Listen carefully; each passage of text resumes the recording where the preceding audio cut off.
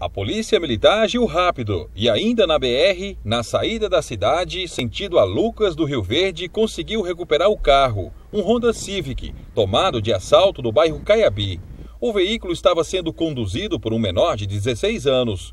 No quartel, o jovem disse que foi contratado apenas para levar o veículo até a cidade de Lucas do Rio Verde. Não vou falar nada pra vocês não. Qual é a sua participação aqui? Foi encomenda? Quantos anos você tem?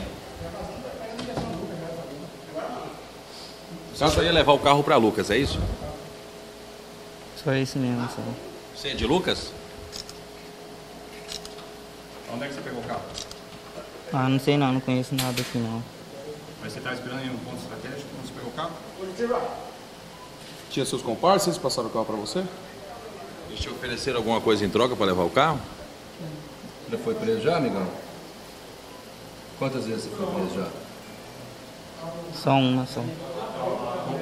A vítima disse para a polícia que o menor não estava na hora do roubo. O rapaz já tem passagens pela polícia. Ele é morador da cidade de Lucas. Recebemos a solicitação da, da vítima via 190 relatando que havia sido roubada. Estava retirando seu veículo da área para estar tá ali lavando a área, né? um ato normal do dia a dia. Uma dona de casa e rapidamente informou que seu veículo entrou dentro da, entrou, entraram dentro da residência dela, né? indivíduos armados, utilizando um revólver, né? mediante violência e grave ameaça, subtraíram o veículo e mais alguns objetos da residência.